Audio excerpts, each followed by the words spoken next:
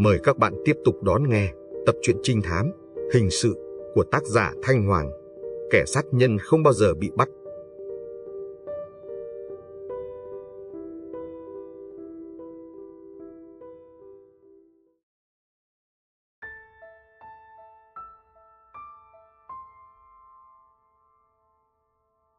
Ngày quốc tế thiếu nhi năm nay may mắn rơi vào ngày nghỉ cuối tuần. Khác hẳn mọi khi, Bé Na tên gọi thân mật của bé Thảo My con gái duy nhất của vợ chồng Vũ Linh dậy rất sớm mà không để mẹ dục năm lần bảy lượt như mọi khi. Con nhỏ còn là một việc mà theo cách nói của chị Hòa là sự kiện chấn động có thể so với trận động đất ở Kobe, Nhật Bản năm nào là tự xếp mùng mền. Xong xuôi cô bé bận bộ đồ thật đẹp, tóc cột hai trái đào rồi ngồi xếp bằng trên ghế tựa kiểu ngồi y hệt ba nó, mắt nhìn đăm đăm ra đầu hẻm. Thỉnh thoảng căn nhằn sao ba lâu về quá, ngày lễ mà tập thể dục làm chi nghỉ một bữa có sao đâu. Chị Hòa đang sửa soạn đi bán, bất giác cười thầm trong bụng. Tội nghiệp con nhỏ, cả năm có được mấy ngày ba dắt đi chơi, nôn quá mà. Chừng 10 phút sau, Vũ Linh về đến nhà, khắp người mồ hôi đầm đìa. Bé Na lập tức thoát xuống ghế, vẩu môi phụng phịu. Ba đi lâu quá làm con chờ muốn chết, mình mà tới trễ không còn chỗ ngồi đâu. Mấy đứa bạn của con còn dậy sớm hơn nữa kìa. Vũ Linh bật cười, đưa tay vẹo má nó một cái. Giờ này còn sớm lắm, đúng 8 giờ chương trình mới bắt đầu. Con chờ ba một chút, ba dội vài ca nước, thay quần áo là cha con mình lên đường. Nói đoạn anh chui tọt vô nhà tắm. Bé Na đứng bên ngoài hối như giặt tròm, đến nỗi ba nó luyến quính gài lộn nút áo. Lẹ lên đi, con gái tôi nôn lắm rồi. Chị Hòa, một tay cầm chiếc túi nặng trịch, tay kia cầm ca nước trà còn nghi ngút khói, hai cha con đi chơi vui vẻ nghen. Bé Na hôn mẹ một cái. Con bé hôn mà mắt lại hướng về chiếc tủ quần áo. Ba nó đang cầm chiếc lược nhỏ xíu, đứng khom lưng trải mái tóc cứng như rễ cây ướt nhẹp. Chừng 5 phút sau, hai cha con đã vi vu trên con đường nhựa phẳng lì. Bé Na ngồi phía trước, miệng liên tục liến thoáng như yểng. Chạy qua tiệm phở vài chục mét, Vũ Linh bỗng quành đầu xe. Cha con mình ăn phở nghe. Dạ, con ăn phở bò vỏ viên, hai tô, nghe ba. Vũ Linh bật cười, đúng là con mắt to hơn cái bụng. Hai tô phở nghi ngút được bày ra, bé Na chun chun cánh mũi. Thơm quá, ước chi ngày nào cũng được ba trở đi ăn phở. Có mẹ vui hơn. Đoạn con bé nhớn mắt nhìn ba nó như trách, chẳng bao giờ cả nhà mình được sum họp một bữa vui vẻ. Hễ có mẹ thì thiếu ba, có ba lại không có mẹ. Buồn quá hà. Vũ Linh nhìn con như người có lỗi, từ ngày có bé Na hai vợ chồng chưa được một ngày đi chơi ngoài. Tại công việc, con à, thôi ba tính như vậy sinh nhật mẹ sắp tới bà húa sẽ đưa cả nhà đi chơi. Con bé reo lên. Thiệt nghe ba, hoan hô. Vũ Linh gật đầu. Thôi con ăn đi kẻo nguội mất ngon, con lấy cho ba chai tương ớt. Gấp được vài gấp thì chiếc di động bỗng reo lên. Bé Na thở dài buông đũa, đôi mắt tròn xoe theo dõi những biến đổi trên gương mặt ba nó. Lo âu, thấp thỏm, con bé ghét tiếng chuông điện thoại reo không đúng lúc. Có chuyện gì hả ba?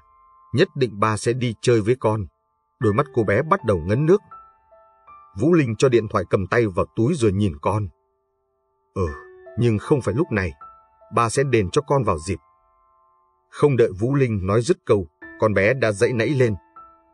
Con không biết đâu, con bắt đền ba, con ghét ba suốt đời. Bé Na khóc tức tưởi, nhìn những giọt nước mắt lăn tròn trên má con, anh cảm thấy bất nhẫn vô cùng. Anh tự trách mình làm cha mà không giữ tròn lời hứa với con. Con à, bé Na bịt chặt tai lại tỏ ý không muốn nghe. Con biết ba định nói công việc là quan trọng, con hãy thông cảm cho ba. Năn nỉ muốn gãy lưỡi mới thuyết phục được con bé. Sau đó, anh quành xe về nhà. Bé Na xuống xe mà vẫn chưa hết ngơ ngác. Tuy nhiên, cô bé cố vất vát. Bà dáng về sớm nghe, coi khúc cuối cũng được. Vở kịch thiếu nhi nàng tiên cá quảng cáo trên TV hơn một tuần nay đã hớp hồn con bé mất rồi. Tội nghiệp. Anh Thạnh, nhân viên bảo vệ công trường kể. Gần 6 giờ sáng, chính xác là 6 giờ kém 10 phút, trước khi bản giao ca trực cho anh Kiệm, tôi đi một vòng quanh công trường kiểm tra lần cuối. Bên ngoài chẳng có gì khả nghi cả. Tôi định quay về phòng thì tự nhiên tôi có linh tính, trong lòng cảm thấy lo lắng không yên. Thế là tôi quành trở vô, lấy cây đèn pin đi kiểm tra bên trong khu nhà. Tầng trệt chẳng có gì, tôi tiếp tục kiểm tra các tầng khác.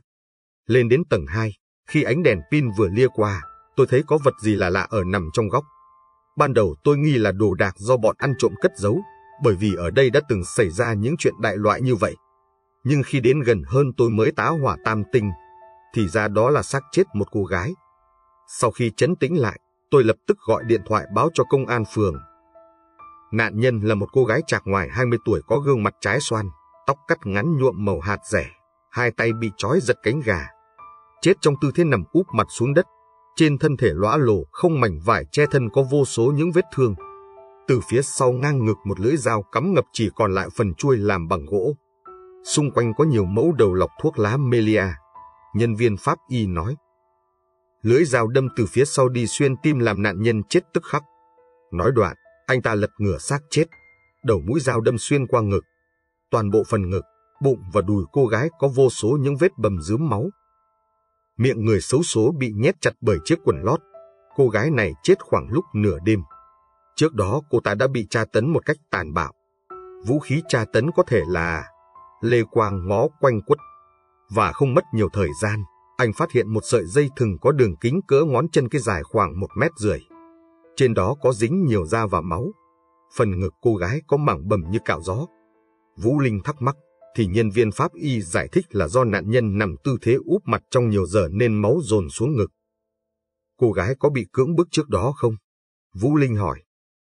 Có, chúng tôi phát hiện tinh dịch trong âm đạo, nhân viên pháp y trả lời chắc chắn, điều này chứng tỏ nạn nhân đã bị tra tấn, cưỡng bức rồi mới bị giết chết.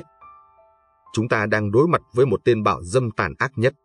Trên cơ thể nạn nhân có để lại nhiều dấu vân tay, có thể là của kẻ cuồng sát.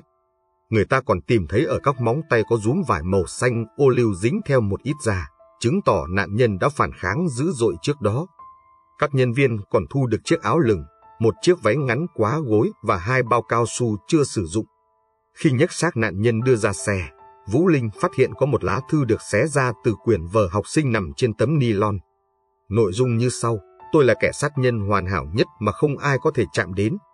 Các người có giỏi thì hãy tóm cổ tôi trong thời gian sớm nhất, trước khi tôi ra tay với nạn nhân thứ hai, thứ ba. Ký tên, kẻ sát nhân không bao giờ bị bắt. Lê Quang giận dữ vung nắm đấm vào không khí. Toàn bộ máu nóng trong cơ thể đều dồn lên mặt. Đôi mắt trợn trừng như từ hải chết đứng. Vũ Linh có vẻ biết kiềm chế hơn.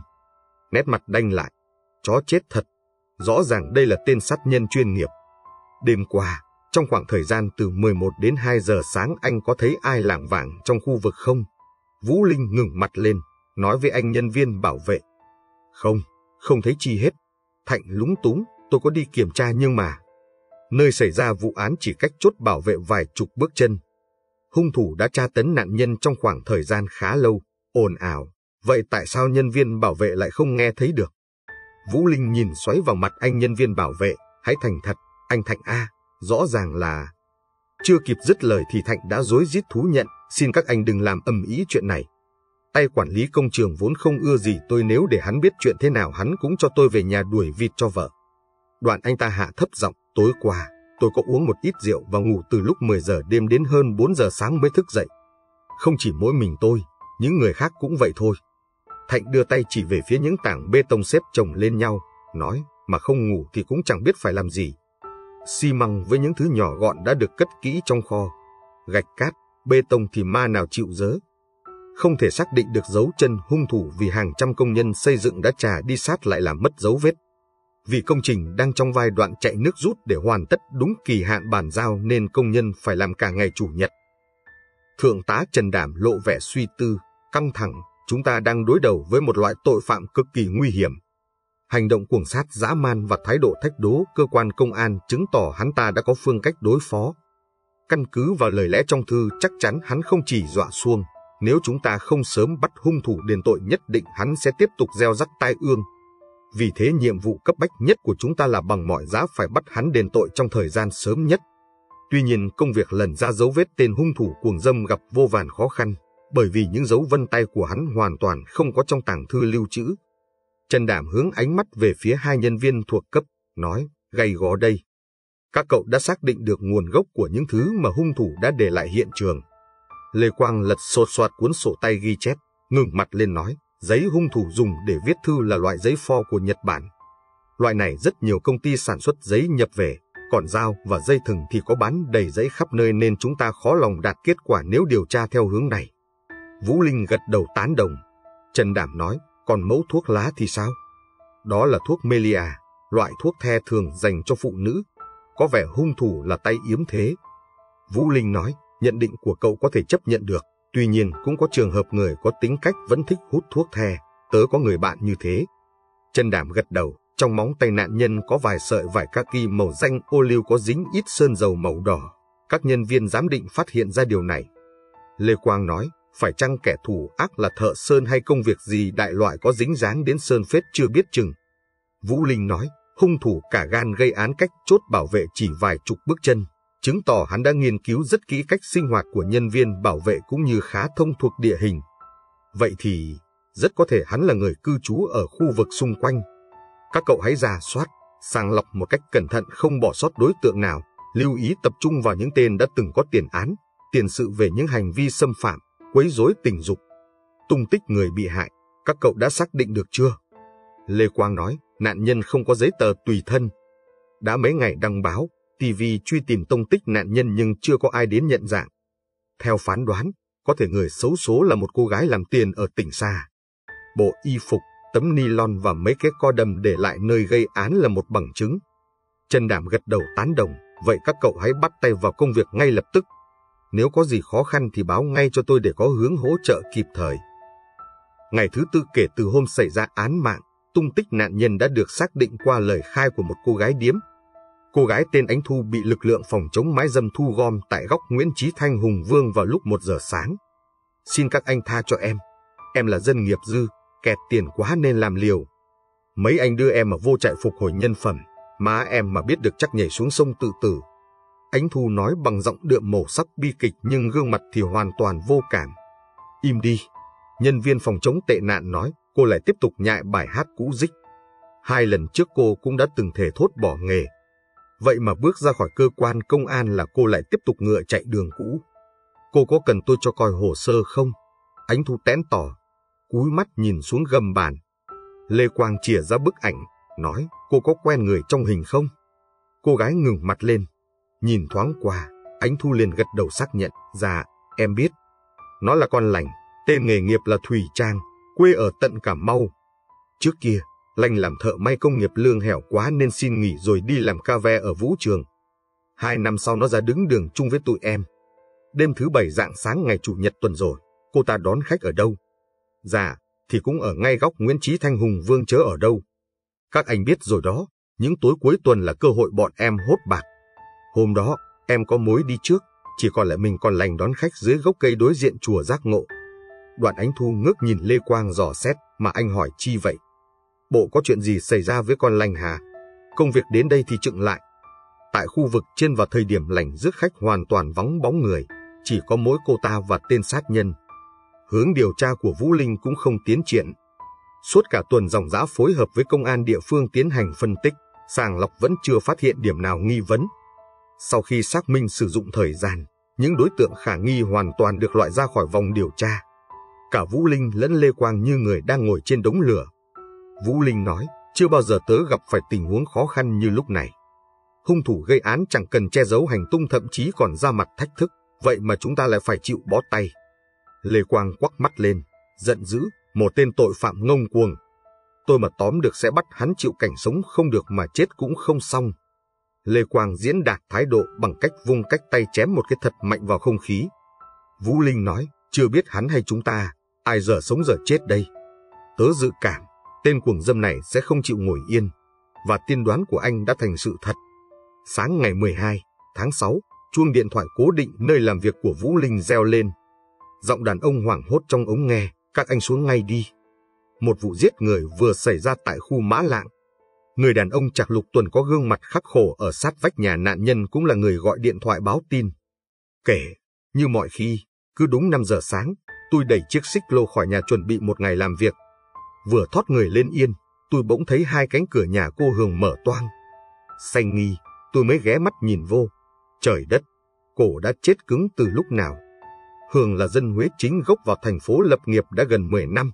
không hộ khẩu, không đăng ký tạm trú. Cùng ở với Hường là cậu em trai 18 tuổi đã bị bắt về tội cướp tài sản công dân. Hường là gái điếm chuyên nghiệp, thời còn Xuân sắc cô ta làm gái hạng sang. Xuân tàn, sắc nhạt thì ra đứng đón khách ở khu vực đường Lê Ngô Cát.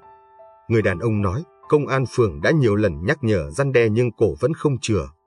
Mà đâu phải chỉ mỗi mình cổ, rất nhiều người ở đây chọn công việc nhẹ nhàng mà sướng thân này. Giọng người đàn ông uốn éo mỉa mai, trước kia, mỗi tối cậu em đạp xe chở bà chị đi hành nghề. Từ ngày thằng Lâm bị bắt, cổ đi bằng xe ôm. Tùy theo yêu cầu của khách mà chọn bãi đáp, nhà trọ, gầm cầu hoặc chun đại vô bụi rậm nào đó. Đây là lần đầu tiên cổ dẫn khách về nhà. Phương thức gây án của hung thủ chẳng khác gì với vụ án đã xảy ra cách đó 10 ngày. Nạn nhân cũng là gái điếm, cũng bị tra tấn, cưỡng bức và sát hại một cách dã man. Tuy nhiên nạn nhân không bị tra tấn bằng dây thừng mà bằng dao. Rất nhiều vết cứa trên cơ thể, có thể do hung thủ không muốn gây ra tiếng động. Mảnh giấy đặt bên cạnh tử thi ghi nội dung như sau, tôi là kẻ sát nhân hoàn hảo nhất mà không ai có thể chạm đến. Cảnh sát các anh chỉ toàn là đồ vô dụng. Hãy chờ nhận xác những người tiếp theo. Ký tên, kẻ sát nhân không bao giờ bị bắt. Đích thị là hắn. Lê Quang nói bằng giọng tức tối. Vũ Linh lật mặt trước tờ giấy. Anh phát hiện ra, kẻ sát nhân đã sử dụng mặt sau đơn thuốc để viết thư khiêu khích. Phần tên người bệnh, tuổi đều bỏ trống. Phần kê toa có ghi những chữ ngoằn ngoèo Xtensilin 1 triệu 200 nghìn UI 2 ống. Ngày tái khám 11 trên 06. Trên tòa thuốc hoàn toàn không có ghi tên bệnh nhân, bệnh viện, người trực tiếp khám, thậm chí tên và chữ ký của bác sĩ cũng không có. Chẳng cần mất nhiều thời gian, Vũ Linh cũng dễ dàng đoán ra đây là một phòng khám tư nhân và rất có thể bác sĩ đang hành nghề bất hợp pháp. Cũng như lần trước, hung thủ để lại rất nhiều dấu vết, con dao gây án với những dấu vân tay, chiếc nút áo bị đứt, những mẫu đầu lọc thuốc lá Melia. Trong lòng bàn tay nạn nhân có một rúm tóc. Lê Quang cầm lên ngắm nghía rồi đưa lên mũi người người mấy cái. Tên cuồng sát này có mái tóc dài và luôn sử dụng keo xịt tóc. Một tên đỏm dáng có bộ mặt sát nhân. Từ nhà Hường dẫn ra lộ chính là con đường đất. Có rất nhiều dấu chân hung thủ để lại. Trong khi Lê Quang bấm mấy pô ảnh, thì Vũ Linh dùng thước đo kích cỡ bàn chân, khoảng cách những bước chân rồi ghi chép cẩn thận vào cuốn sổ tay. Thượng tá Trần Đàm nói bằng giọng giận dữ. Chúng ta đã quá chậm chạp để hung thủ tiếp tục gây án. Nếu tiến độ công việc cứ như rùa bò như thế này thì không biết bao nhiêu người sẽ tiếp tục trở thành nạn nhân của tên bạo dâm cuồng sát. Cấp trên vừa điện thoại cho tôi tỏ vẻ không hài lòng với cách làm việc chậm gì của chúng ta. Không khí trong phòng trở nên ngột ngạt. Mọi người đưa mắt nhìn nhau như người có lỗi. Trần Đảm nói sẵn giọng, tại sao các cậu lại ngồi yên như vậy? Nói gì đi chứ? Lê Quang che miệng ho húng hắng vài tiếng, rồi chúi mũi vào sấp hồ sơ trước mặt. Báo cáo thủ trưởng, chúng tôi đã quần nát khu vực Lê Ngô Cát, nơi Hường vẫn thường đón khách nhưng chẳng thu được kết quả nào cả, bởi vì thời điểm trên đường xá hoàn toàn vắng bóng người qua lại.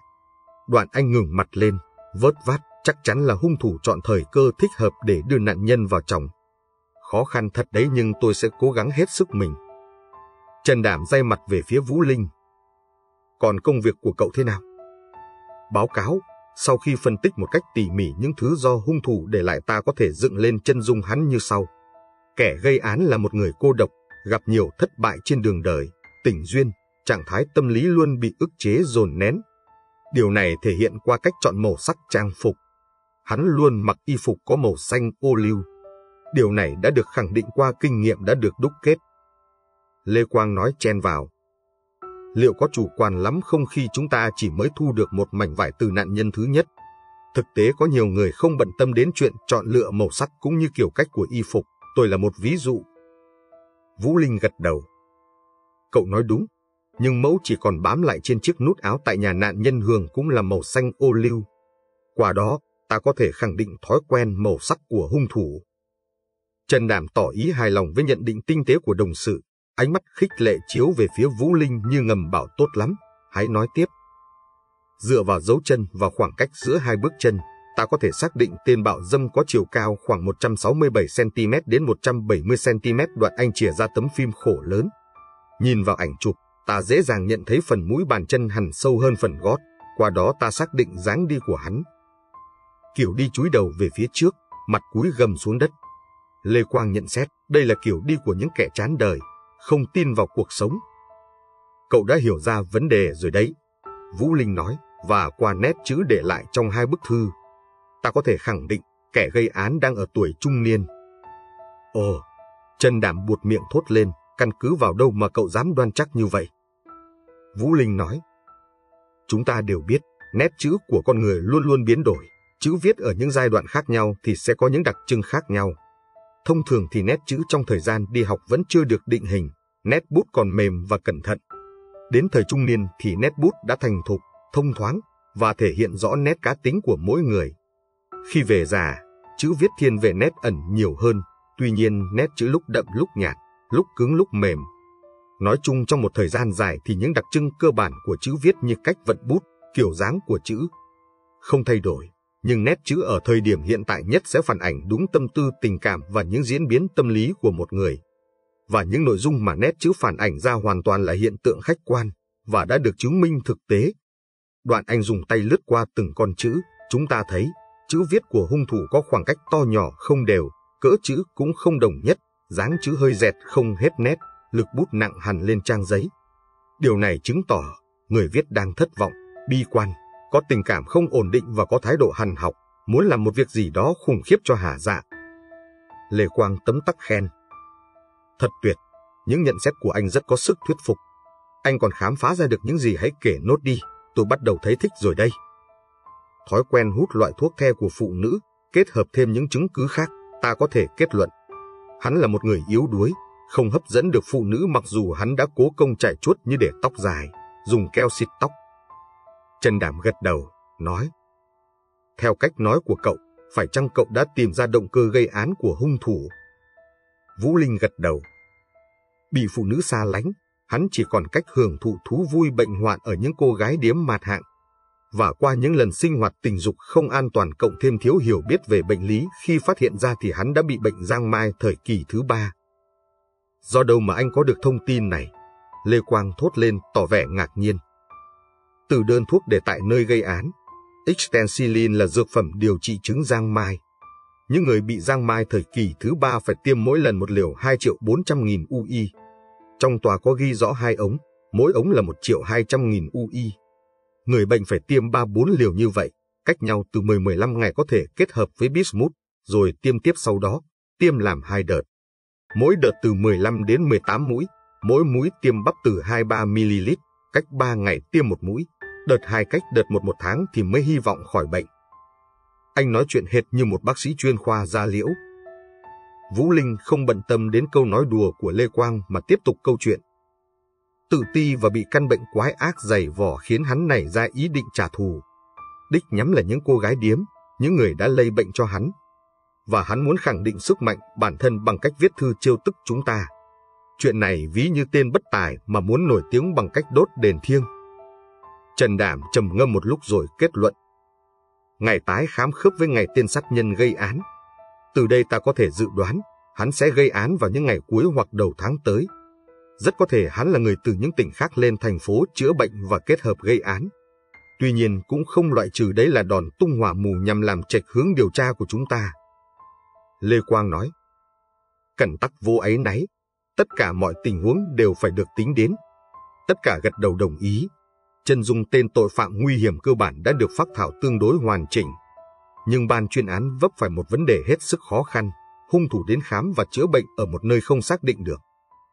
Trần Đảm nhận định, tâm lý những người bị mắc chứng bệnh này thường giấu kín lai lịch.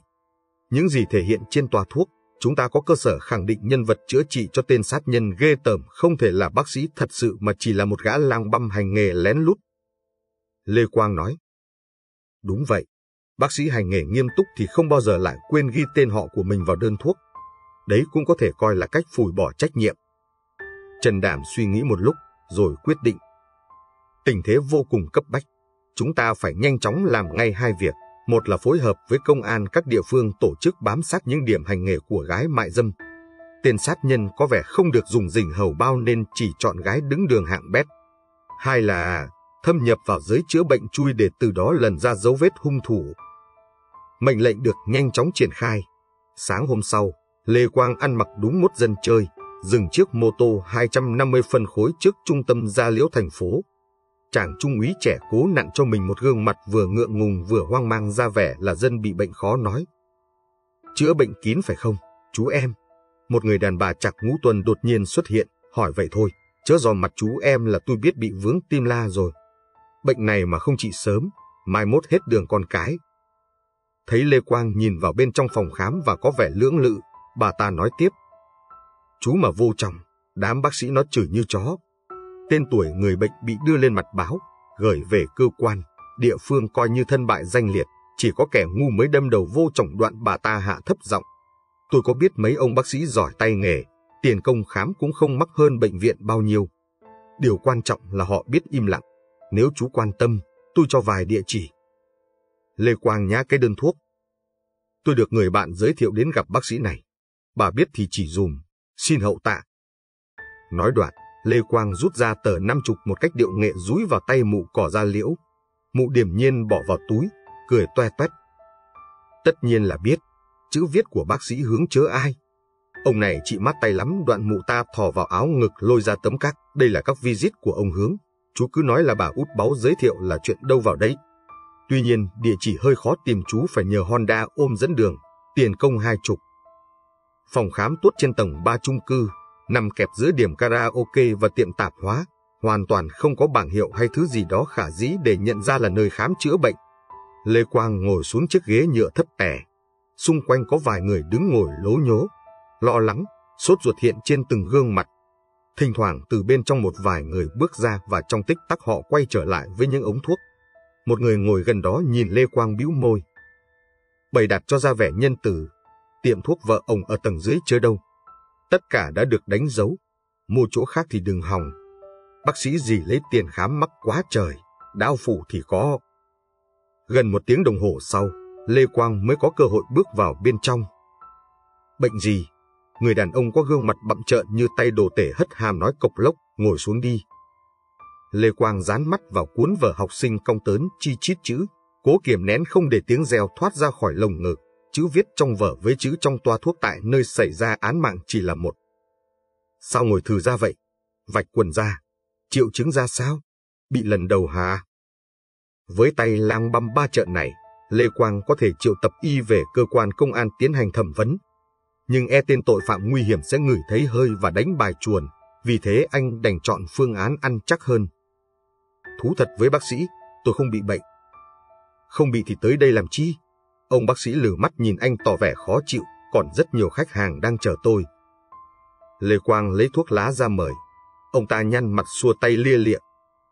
Tôi không hút thuốc, có chuyện gì anh cứ nói. Chẳng giấu gì bác sĩ, tôi có một người anh họ chơi gái lỡ ngớ thế nào mà để bị giang mai thời kỳ thứ ba. Vì sợ gia đình, người thân của trách nên anh ấy đã bỏ nhà ra đi. Bác sĩ hướng nóng này cắt ngang. Chuyện ấy thì có can dự gì với tôi? Có lẽ anh nên đến đài truyền hình hoặc các tòa soạn báo thì tốt hơn. Lê Quang chìa ra tờ đơn thuốc. Tôi hiểu, nhưng ảnh đã từng đến đây điều trị. Mong bác sĩ hãy giúp chúng tôi. Cả nhà đang rất mong tin và mẹ anh ấy đang bị đau nặng. Lê Quang cố tạo gương mặt đầy bi kịch khiến bác sĩ hướng động lòng. Anh họ của anh tên gì? Lê Quang nói đại một cái tên. Ông ta lướt mắt qua cuốn sổ rồi lắc đầu, nói. Hoàn toàn không có cái tên mà anh vừa nói. Có thể anh ấy đã khai tên giả. Bác sĩ biết rồi, tâm lý những người mang những chứng bệnh khó nói thường giấu nhẹm danh tánh của mình. Lê Quang tả một cách chi tiết hình dáng, đặc điểm tên sát nhân. Ảnh cao gần 1 mét 7, thích bật y phục màu xanh ô liu, có thói quen hút thuốc lá melia. Bác sĩ hướng à lên một tiếng. Thì ra là anh ta, Luận, Nguyễn Tấn Luận, té ra đây là tên giả. Lê Quang thắc mắc. Sao bác sĩ không ghi tên người bệnh vào tòa thuốc? Do yêu cầu của bệnh nhân thôi, khách hàng là thượng đế mà tuy nhiên tôi có ghi đầy đủ tên họ vào sổ lưu. Thấy Lê Quang có vẻ thất vọng, bác sĩ hướng nói. Anh cũng đừng nên lo lắng thái quá. Đúng theo lịch khám thì ngày 1 tháng 7 này người anh cần tìm sẽ có mặt tại đây để tái khám. Yên trí đi, anh ta sẽ đúng hẹn, Giang Mai chữa trị không tới nơi tới chốn sẽ sanh ra biến chứng rất nguy hiểm. Lần khám gần đây nhất vào ngày 11 tháng 6 anh ấy có biểu hiện gì bất thường không? Nói, tôi mới nhớ, đấy là một người cô đơn, chán trường. Trong khi chờ tới lượt, anh ta cứ liên tục hút thuốc. Nét mặt hiển hiện sự toan tính điều gì đó. Khi biết rõ bệnh trạng của mình, anh họ của anh rất lo sợ. Đúng là bệnh tình của anh ta là khá nghiêm trọng nhưng nếu điều trị tận tâm tận lực thì cũng khỏi thôi. Chỉ có điều phải mất nhiều thời gian và tốn kém. Nói không phải để khoe, tôi là chuyên gia trong lĩnh vực này mà. Tim la, lậu mù vào tay tôi là khỏi ngay tức thì. Ngoài những điều bác sĩ vừa nói, anh ấy còn có những biểu hiện gì không? Mỗi lần khám chữa bệnh anh ấy phải trả bao nhiêu? Hơi tốn. Năm, bảy trăm có khi đến tiền triệu. Không phải tôi ăn mắc, tại vì phải làm nhiều bước xét nghiệm, thử máu, thử nước tiểu, kháng sinh đặc trị nên. Lần trước, anh ta còn nợ tôi sáu chục ngàn. Tôi không phải là chuyên gia tâm lý nên không có kinh nghiệm xét đoán con người qua vẻ bề ngoài. Tuy nhiên ánh mắt của anh ta trông thật đáng sợ. Ánh mắt của những tên sát nhân hàng loạt trong những bộ phim rùng rợn của Mỹ. Không biết nhận xét của tôi có chính xác không? Cùng lúc việc truy tìm tên Nguyễn Tấn Luận thông qua hệ thống cơ sở dữ liệu thì hầu hết toàn bộ lực lượng cảnh sát đã được huy động vào cuộc. Những phương án vây bắt, truy đuổi hung thủ đều đã được tính đến một cách cặn kẽ, chính xác. Thế trận thiên la địa võng đã răng kín khắp nơi đến nỗi con ruồi cũng khó lòng bay lọt. Từ tối Chủ nhật ngày 30 tháng 6 toàn bộ ban chuyên án đều có mặt tại những điểm nóng. Một đêm nặng nề căng thẳng đi qua bình an vô sự. Thượng tá Trần Đảm nhận định hung thủ sẽ ra tay vào ngày thứ hai, 1 tháng 7. Từ 7 giờ sáng, nhóm của Lê Quang phụ trách đã có mặt xung quanh khu vực phòng khám bác sĩ hướng. Họ chia ra thành nhiều tốp giải rác khắp nơi. Thượng tá Trần Đảm liên tục giữ liên lạc với nhóm qua bộ đàm. Ông nhắn nhủ mọi người phải hết sức tập trung vào công việc. Tên bạo dâm cuồng sát còn nhờn nhơ ngoài vòng pháp luật, sẽ còn tiếp tục gieo rắc tang tóc kinh hoàng. Đúng 9 giờ, phòng khám mở cửa, hai trinh sát đóng vai người bệnh túc trực bên phòng khám. Thời gian trôi qua nặng nề đến ngạt thở. 11 giờ, bác sĩ hướng đóng cửa, tên sát nhân vẫn chưa lộ diện. Có thể hung thủ sẽ xuất hiện vào buổi chiều hoặc tối. Các cậu hãy thật bình tĩnh, không được nôn nóng và chảnh mảng công việc trần đảm căn dặn. Buổi khám cuối cùng trong ngày đã kết thúc mà tên sát nhân vẫn bặt tâm. Trần Đảm ra lệnh tất cả rút về điểm tập kết chỉ giữ lại một trinh sát ở lại nghe ngóng động tĩnh. Toàn bộ lực lượng tập trung vào những điểm gái mái dâm hành nghề. Đã 2 giờ sáng mà vẫn chưa có phát hiện gì mới. Ban chuyên án tỏ vẻ sốt ruột. Thượng tá Trần đàm mất hết vẻ bình tĩnh thường ngày. Chuông điện thoại để bàn liên tục reo lên. Báo có thủ trưởng, giọng Vũ Linh rẻ rẻ trong ống nghe, tất cả các chốt báo về chưa phát hiện gì cả. Những điểm tụ tập gái mãi dâm vào thời điểm này vẫn hoạt động bình thường, và tên tội phạm chưa thấy xuất hiện. Tiếp tục bám sát, không được chủ quan, khinh suất. Có thể hung thủ sẽ lợi dụng lúc ta lơ là mà ra tay hành động. Tuy nhiên, Trần Đảm cảm thấy trong lòng xốn sang như có lửa. Tại sao tên sát nhân chưa chịu ra tay? Phải chăng hắn đã ngửi thấy mùi nguy hiểm nên đã cao chạy xa bay? Thông tin dò gì ư? Điều này hoàn toàn không thể. Hay đã có chuyện gì xảy ra với hắn? Bao nhiêu câu hỏi được đặt ra mà không có lời giải đáp. Tự nhiên, ông có linh cảm điều xấu nhất sắp xảy ra. Đúng 3 giờ 30 phút sáng ngày 2 tháng 7, chuông điện thoại lại đổ dồn. Nhân viên bảo vệ sân vận động quận X, hớt hải báo tin vừa phát hiện thêm một xác chết. Thủ đoạn và phương thức gây án hoàn toàn như hai vụ trước đó. Nạn nhân là gái điếm hết thời suýt soát tuổi 40 chết trong tư thế quỳ úp mặt xuống đất. Lưới dao đâm xuyên qua ngực trái. Gương mặt vụng về son phấn còn in nỗi kinh hoàng. Trên lưng nạn nhân có một bức thư từ một nửa tờ A4 được dằn bởi hòn gạch to bằng nắm đấm. Lời lẽ trong thư sặc mùi khiêu khích, đe dọa, đây là con điếm thứ ba được tôi ra ân sớm về đất chúa. Và tôi sẽ còn tiếp tục tàn sát đến con điếm cuối cùng. Các người sẽ chẳng làm gì được tôi cả. Ha! Ha! ký tên, kẻ sát nhân không bao giờ bị bắt. Các chiến sĩ công an còn tìm thấy chiếc ví bằng simili đựng giấy tờ tùy thân của nạn nhân. Tên cô ta là Lê Thị Bích Huyền, 36 tuổi. Lần theo địa chỉ trong chứng minh nhân dân, Lê Quang đến một xóm lao động nghèo sập sệ. Huyền đã từng lập gia đình và có một đứa con trai. Chồng theo vợ bé. Sau khi ly dị, đứa con về sống bên nội. Từ đó cô sống bằng nghề bán phấn buôn hương. Cùng ở với Huyền trong ngôi nhà sàn lập bằng giấy dầu là Thanh. Thanh, trước kia cũng là mãi dâm giờ đã bỏ nghề. Trời đất, con Huyền chết rồi sao? Thanh ngơ ngác như người bị chứng mộng du, nó tâm sự với tôi có ý định bỏ nghề. Vậy mà. Do bất lợi về hình thể và tuổi tác, Huyền không đón khách ở những điểm tập trung gái mại dâm mà chọn những trạm xe buýt để hành nghề. Điều này đã làm sáng tỏ vì sao hung thủ có thể thoát khỏi vòng vây đã được khép kín. Những vụ thảm sát liên tiếp xảy ra trong vòng 20 ngày đã làm đau đầu ban chuyên án. Chân dung tên tội phạm đã được khắc họa rõ nét mà vẫn không sao tóm cổ được hắn là một điều nhức nhối cho những người thi hành pháp luật. Hành động thách thức của hung thủ đã chạm đến lòng tự trọng của Vũ Linh ghê gớm. Anh vật vã đau đớn như bị một nhát dao đâm thấu tim. Tại sao tên cuồng sát không đến khám theo lịch hẹn? Tại sao hắn chọn cô gái hành nghề ở trạm xe buýt để ra tay? Những gì đã diễn ra cứ như hắn đã quá thông thuộc đường đi nước bước của ban chuyên án.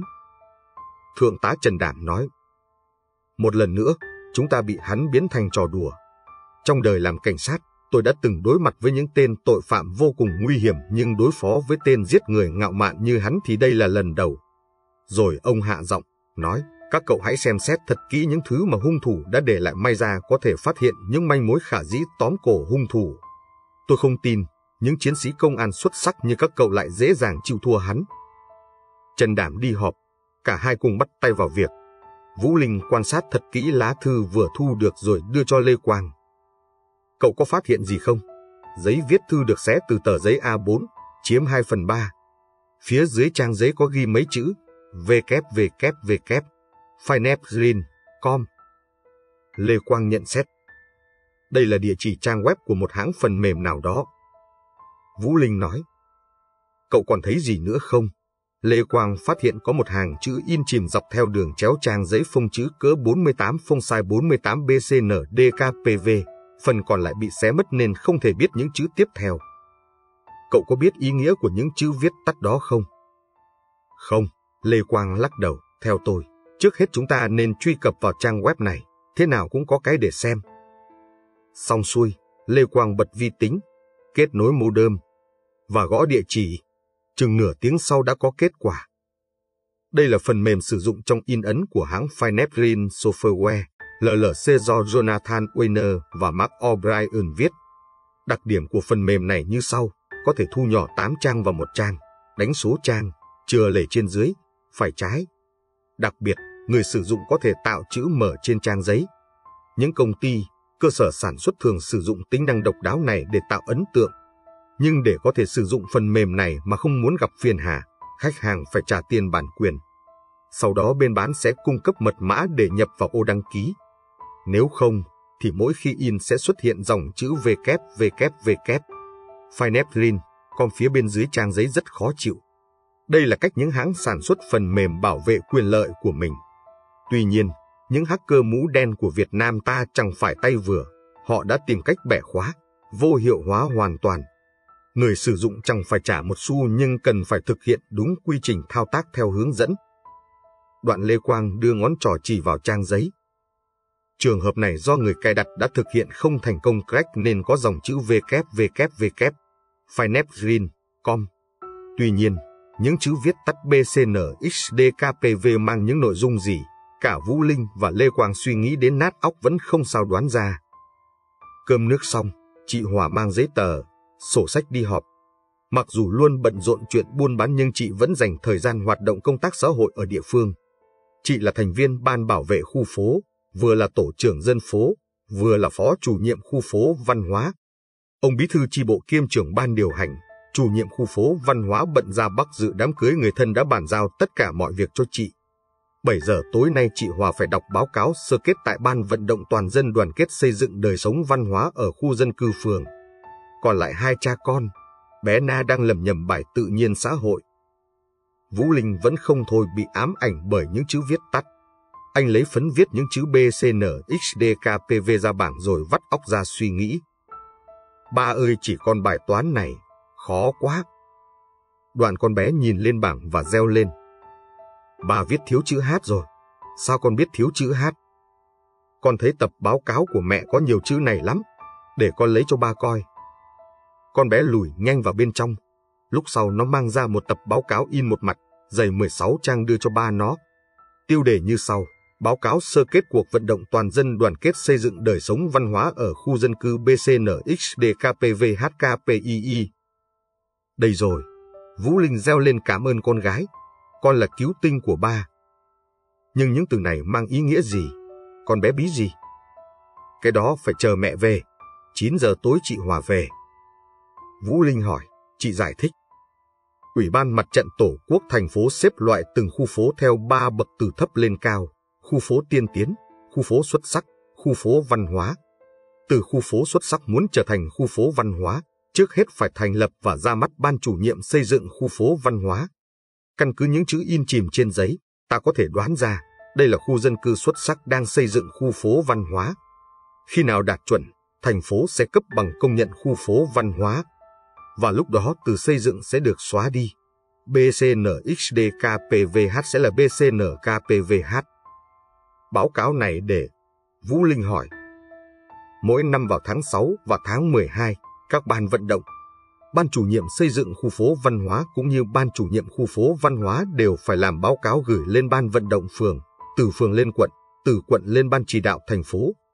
Sau đó thành phố sẽ tiến hành phúc tra, đánh giá và xếp loại cho từng khu phố. Vũ Linh hồ hởi. Cảm ơn em. Phá được vụ án này công đầu thuộc về em và bé Na. Mất hai ngày sục sạo trong đống hồ sơ tại ban chỉ đạo thành phố, cuối cùng Vũ Linh cũng tìm được ra tập báo cáo có in chữ chìm theo đường chéo suốt 14 trang in vi tính, BCN XDKPVHKPIII. Trong hàng ngàn báo cáo gửi lên ban chỉ đạo thành phố chỉ duy nhất báo cáo của khu phố 3, phường 11, quận X là có đặc điểm này. Cuộc điều tra đã đi đúng hướng. Nhưng một lần nữa ban chuyên án lại phải thất vọng. Công an phường 11 khẳng định không có đối tượng như miêu tả trong địa bàn. Tuy nhiên các chiến sĩ công an vẫn không nản lòng. Vũ Linh và Lê Quang quyết định xuống làm việc trực tiếp với ban vận động phường. Văn phòng khối vận và ủy ban phường nằm kề nhau. Lúc này đã hơn 8 giờ sáng nhưng chỉ lác đác vài nhân viên đứng ngồi túm tụm. Cô ủy viên thư ký vừa nhai bánh mì, vừa giải thích. Toàn bộ thành viên trong ban vận động phường và các trưởng, phó ban vận động các khu phố bận dự lớp tập huấn trên quận Triều mai mới kết thúc. Có gì không, các anh? Theo hướng dẫn của cô ủy viên thư ký, cả hai lên tầng một gặp đồng chí bí thư đảng ủy. Ông ta đang ngồi chéo chân, đọc báo một cách nhàn nhã. Cô Linh, cán bộ phụ trách lao động, thương binh và xã hội cũng là bí thư chi bộ khu phố 3, kiêm chủ nhiệm xây dựng khu phố văn hóa. Còn phó chủ nhiệm là cậu Toàn, nhân viên phụ trách phòng vi tính. Tất cả những thứ có liên quan đến giấy tờ, sổ sách khu phố 3 đều do cậu Toàn chịu trách nhiệm. Ông bí thư đảng ủy còn nói thêm, thông thường, việc của khu phố thì tự khu phố lo liệu nhưng do chủ nhiệm và phó chủ nhiệm đều là nhân viên phường nên họ in luôn tài liệu tại ủy ban cho tiện. Cả văn phòng khối vận và ủy ban phường đều xài chung một máy in đặt ở phòng vi tính. Chúng tôi xử lý rác văn phòng bằng cách đưa vào máy hủy giấy trước khi bỏ vào thùng rác. Khi Vũ Linh đưa ra mẫu giấy, ông bí thư lập tức gật đầu xác nhận. Đúng là nó đã được in tại đây. Những chữ in chìm là do cậu Toàn sáng tác nên. Toàn là người như thế nào? Lê Quang nói. Trẻ tuổi, có năng lực. Chúng tôi đã sắp xếp cho cậu ấy theo học tại Học viện Hành chính Quốc gia. Cha Toàn là liệt sĩ, nhà chỉ có hai mẹ con. Cô Linh mãi lo việc nước mà chưa lập gia đình. Cô ấy sống một mình trong ngôi nhà chung cư do ủy ban bán trả góp. Các anh muốn gặp họ thì phải đợi hai hôm nữa. Chiều mai tất cả những người tham gia lớp tập huấn đều phải nộp bài thu hoạch cho ban tổ chức lớp. Toàn bộ 8 bài thu hoạch của các học viên thuộc phường 11 được đưa về cơ quan công an để tiến hành giám định chữ viết. Kể cả bức thư của tên cuồng sát qua máy scanner, tất cả được đưa lên vi tính và phân tích bằng phần mềm chuyên dụng. Mất đúng hai ngày nhưng cả Vũ Linh và Lê Quang chẳng thu được kết quả nào. Chữ viết của hung thủ hoàn toàn khác biệt với những bút pháp khác. Công việc mới đầu tưởng rất thuận lợi không ngờ lại đi vào ngõ cụt. Chán quá! Lê Quang lắc đầu thất vọng, công lao vất vả của mọi người bỗng hóa ra công cốc. Bây giờ ta phải làm gì tiếp theo hả, anh Vũ Linh? Vũ Linh lặng câm, mắt dán chặt lên màn hình vi tính. Lê Quang nói. Chưa rồi, anh em mình kiếm thứ gì cho vô bụng đi. Cậu cứ việc, tớ không thấy đói. Lê Quang nhún vai, bước nhanh ra phía cửa. Vũ Linh nói với theo. Sẵn tiện, cậu mua cho tớ ổ bánh mì thịt. Còn lại một mình, vừa dê chuột, vừa nghĩ ngợi, chân tướng hung thủ đã bắt đầu lộ diện vậy mà mình vẫn không sao vươn tới hắn. Phải chăng đã có gì sơ suất trong quá trình điều tra? Vũ Linh xem lại thật kỹ những bài thu hoạch, tập trung vào những chữ viết của các thành viên ban chủ nhiệm khu phố 3. Khi so sánh thật tỉ mỉ những nét chữ chữ hung thủ với chữ viết của cô cán bộ phụ trách lao động thương binh xã hội, anh bỗng phát hiện ra một điều gì đó có những điểm tương đồng, Sực nhớ cách đây không lâu, anh có đọc một tài liệu trình bày rất cặn kẽ, những mấu chốt để nhìn thấu lòng người, liên hệ với những gì đang diễn ra. Vũ Linh à một tiếng rồi lao nhanh về phía cửa. Đi đâu vậy, anh Vũ Linh? Bánh mì của anh đây. Đang là giờ nghỉ trưa, cô nhân viên ủy ban đang nằm liêm diêm bỗng bị dựng dậy bởi những tiếng gõ cửa thúc giục. Xin lỗi cô vì đã làm phiền. Chúng tôi là công an. Đề nghị cô hợp tác với chúng tôi. Tôi giúp được gì cho các anh? Linh nói, mời hai anh ngồi. Cô nhân viên ủy ban lại tủ lạnh lấy nước uống. Lê Quang nhìn khắp lượt. Cách bày trí ngôi nhà hoàn toàn của người đang sống độc thân. Chị ở một mình hả? Một mình chứ mấy mình. Già rồi chẳng ma nào chịu dớ. Các anh coi có ông nào quá đát giới thiệu cho em. Cả ba cười vang. Câu chuyện nhờ đó mà trở nên nhẹ nhõm hơn. Vũ Linh thăm dò. Người anh trai của cô vẫn khỏe chứ? Anh trai nào? Tôi không hiểu gì cả. Linh lộ vẻ lo lắng. Chẳng lẽ cô lại quên chính anh ruột của mình? Anh ta cao khoảng 1,70 mét, thích mặc áo màu ô liu, thói quen hút thuốc melia, có dáng đi chúi đầu về phía trước và đang bị mắc bệnh. Linh thở dài. Các anh đã biết rõ như vậy thì tôi chẳng còn gì giấu giếm nữa. Đúng là tôi còn một người anh tên Thái. Anh Thái vốn là họa sĩ tự học không gặp thời, hiện đang ở tại Lai Vung, Đồng Tháp. Chuyện xấu mà kể ra chẳng khác gì vạch áo cho người xem lưng. Ảnh bị giang mai rất nặng, vì không có tiền và mắc cỡ nên lên thành phố xin tiền tôi chữa bệnh. Cứ tới ngày tái khám thì ảnh đến nhà tôi và trở về ngay ngày hôm sau. Tốn kém lắm, tôi là công chức nhà nước đâu có nhiều tiền. Lần trước, tôi phải chạy vậy khắp nơi nhưng chỉ được 200, không đủ tiền trích thuốc. Thì ra, biết chắc với số tiền ít ỏi trên không đủ cho một lần khám bệnh nên Thái đã sử dụng nó để rước gái mãi dâm. Cô có phát hiện ra thái độ kỳ lạ của Thái không? Có, anh có vẻ cảnh giác và hơi lo sợ điều gì đó. Một lần, tôi còn thấy chiếc quần dài có dính một ít máu. Hỏi, thì ảnh viện đủ lý do rất hợp lý. Ảnh hiền như cục bột nên tôi luôn tin những gì ảnh nói. Chẳng lẽ ảnh đã làm điều gì đó dính dáng đến pháp luật? Ngay buổi chiều hôm đó Thái đã bị bắt tại phòng vẽ của mình ở Lai Vung. Vừa thấy bóng dáng công an, Thái ngoan ngoãn đưa tay vào còng, im lặng, không một chút kháng cự. Hoàn toàn trái ngược với những gì mà hắn đã gieo rắc với những cô gái làm tiền và những lời lẽ sặc mùi khiêu khích với cơ quan công an. Tội của tôi có bị xử bắn, không các anh. Chuyện đó pháp luật sẽ phán xét, Vũ Linh nghiêm mặt nói. Tên bạo dâm cuồng sát bị giải ra chiếc xe bít bùng nổ máy đợi sẵn. Hồ sơ vụ trọng án đã được khép lại. Lê Quang làm thế nào mà anh phát hiện ra mối liên hệ giữa chữ viết của cô Loan và tên Thái, trong khi hai nét chữ hoàn toàn khác nhau? Chữ viết của cô Loan vuông vắn, nét nào ra nét đó nhưng cũng rất mềm mại, ngòi bút cứ như bay trên mặt giấy. Còn của tên Thái thì thô ráp, lực bút mạnh, khoảng cách to nhỏ không đều và cỡ chữ cũng không đồng nhất. Vũ Linh gật đầu. Cậu nói đúng nhưng chưa hoàn toàn chính xác. Nếu nghiên cứu thật kỹ, ta sẽ thấy có những điểm tương đồng đấy. Đoạn anh đằng hắng lấy giọng, nói, nếu như nhìn vân tay chúng ta có thể biết được những thông tin về cuộc đời một con người thì nét chữ chính là một phương tiện để con người truyền đạt tư tưởng tình cảm. Nhìn một cách vĩ mô, con người trong quá trình nhận thức và cải tạo thế giới đã không những nhận biết được sự vật mà còn có thể ghi lại những sự vật đã được nhận biết đó. Thông qua hoạt động phức tạp của đại não đã hình thành nên các thế giới quan và đặc trưng tính cách khác nhau, và đi vào trong tiềm thức của con người để rồi trong một điều kiện nhất định nào đó để thể hiện ra ngoài. Chữ viết chính là một trong những hình thức biểu hiện đó. Nói một cách cụ thể, chữ viết có quan hệ với tính di truyền.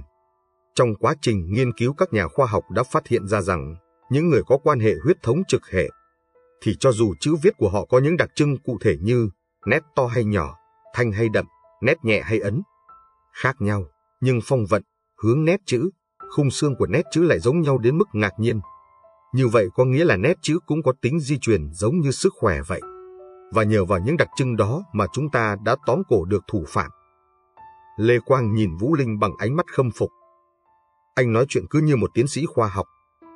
Tất cả những kiến thức quý báu này, tớ học từ sách vở mà ra. Đoạn anh hất hàm về phía Lê Quang, thế nào? cậu có còn chế tớ là con mọt sách nữa không? Lê Quang cười cười. Chuyện cũ bỏ qua đi, chắc tôi cũng nên tập có thói quen đọc sách như anh thôi.